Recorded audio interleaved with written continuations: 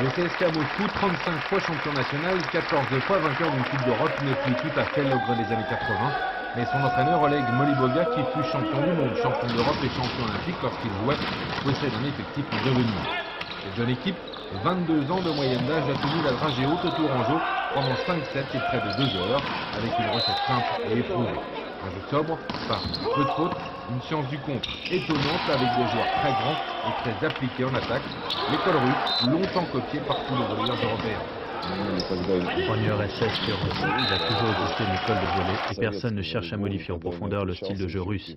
Il existe un réservoir de jeunes joueurs, forts physiquement et techniquement. Ça ne sert à rien de compliquer, mieux vaut faire simple et efficace.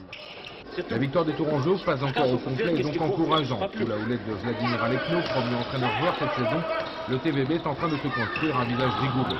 Les renforts du jeune russe Nassirov, 1m98, encore timide, aussi en attaque. Le bulgare Arsov, 2 mètres, entre aperçu sur le terrain hier soir parce que blessé à une main. Et l'arrivée attendue du Tchèque Tesla, 2 mètres, qui dispute actuellement les championnats d'Europe, vont donner de la hauteur et de la puissance à l'attaque et au contre-tourangeau.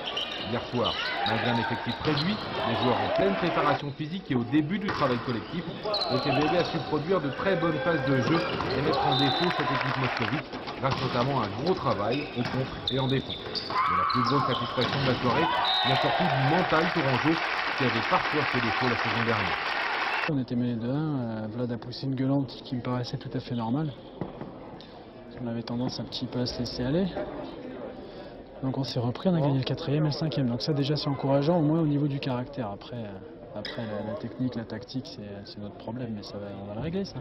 Nul doute que demain à Châteauroux, vendredi à Chartres et samedi à Saint-Jean-de-Bréle, les trois prochaines rencontres entre les deux formations, le spectacle gagnera encore en qualité, de bon augure, à 10 jours de l'ouverture du tournoi de la.